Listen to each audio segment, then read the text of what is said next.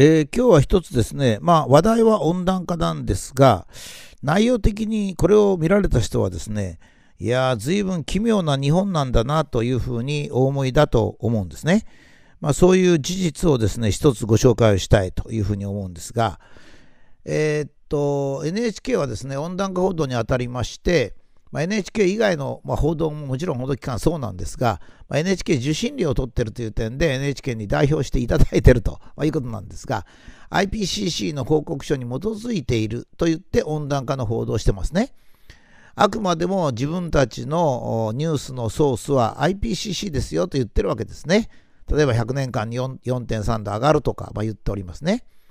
で、その結果温暖化は恐ろしい。ツバルは沈んだのは温暖化だという報道を続けておりまして、ま、数年前は明日のエコでは間に合わないという、まあ、緊迫したですね、警告放送をもう本当に1時間に一遍とか、まあ、1日に3回とか、まあ、よく頻度分かりませんが、そのくらいで、明日のエコでは間に合わない、明日のエコでは間に合わないと言って温暖化に警告をしておりました。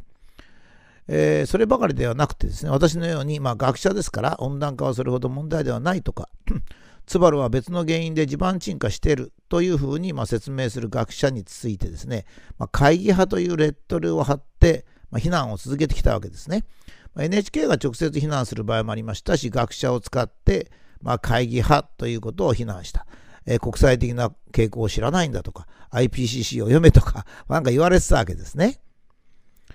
え NHK がその存在に関わって従わなければならないのに放送法というのがありますが、まあ、ここにはですね、え、両論がある場合は両方とも放送しなければならないと定められておりますが NHK の今までのスタンスはですね IPCC は圧倒的に力が強いんだから学者も3000人とか言ってるんですけど違うんですけど多いなので IPCC とは違う見解を持つ学者の意見はもう無視していいと、まあ、そういう見解でした。ですから多くの人はですね NHK の報道は IPCC によっていると思ってますよ。え、もう絶対思ってますね。違うと言われたらびっくりしてそれは嘘だと言うでしょうね。だから証拠を示そうと思うんですね。実は IPC の委員の中でも誠実な人と誠実じゃない人がいるんですが、えー、IPCC の日本代表の主筆ですね、えー、執筆責任者を北海道新聞がインタビューしまして、えー、記事に出しております。多くの人はこの記事に驚いたでしょう。あのつまり、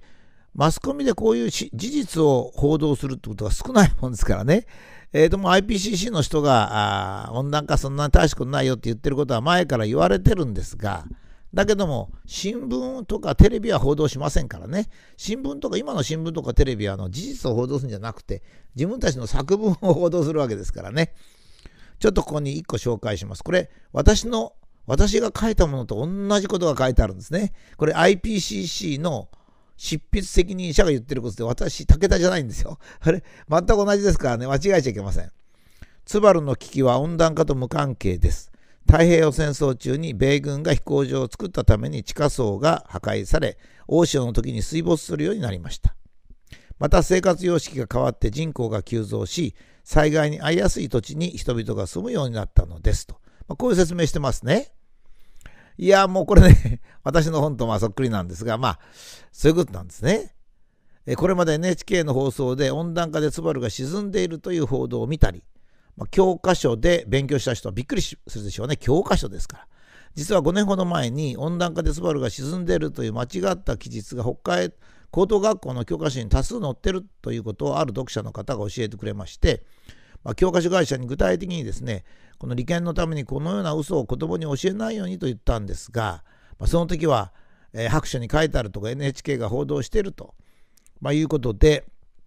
えー、訂正を拒否されました。まあ、さらに10年ほど前ですね、小学校の先生に対して私が講演した時ですね、まあ、6年生を担任しておられる男性の先生がですね、ツバルの事実を教えても、その夜に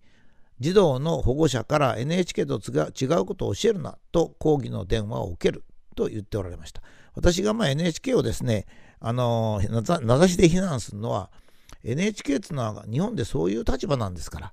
子供に嘘を教えるような元を作るような立場なんですからだからダメだとこう言ってるわけですね。この記事本当はあのツバルのことをこれ本当に読んでほしいんですよね。これ私じゃないんですから全く私だと思われちゃうでしょこれだとね。それから私の書籍には繰り返しツバルの一部が浸水しているのは第二次世界大戦の時のアメリカ軍の基地というふうに書いてあるわけですが、会議派が書きましたからね、日本はね、事実とか事実じゃないということじゃないんですよ。その人物がどういう人物か、まあ、政府寄りだったら採用しますと政府寄りじゃなければ採用しないっていうことなんですね。ところが私の見解は実はこれを見てわかるように、ここは IPCC と同じ意見なんですよ。実は私の考えは IPC と同じじゃないですかって言った人も随分いるんですよね。私の講演でも私がツバルのことを言うとですね、武田はおかしいと言った人が多いんですけど、まあ、かわいそうっちゃかわいそうですね。みんな NHK を信じ、NHK に裏切られてるわけですね。まあ、受信料払ってるのって言いたくなっちゃうんですけどね。それでここもう一つちょっとこれですね。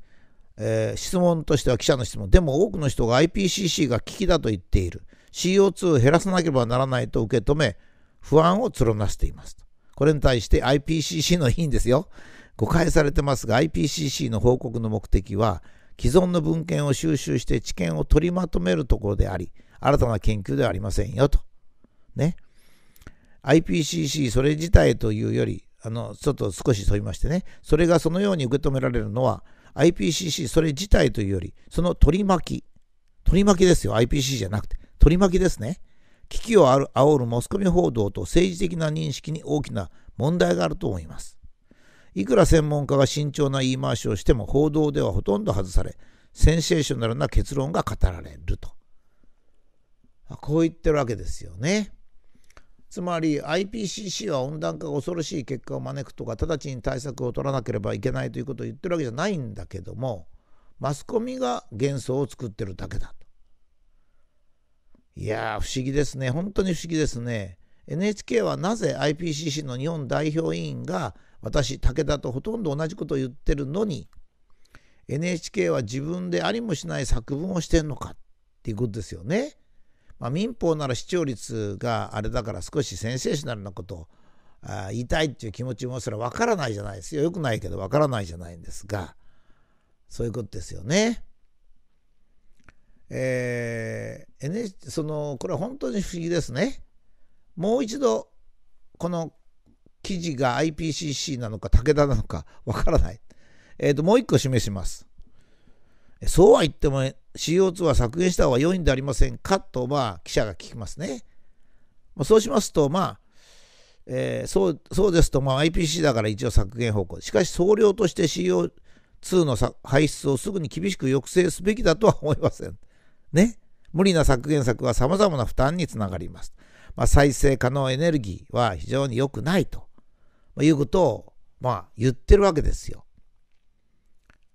そうするとね、日本が、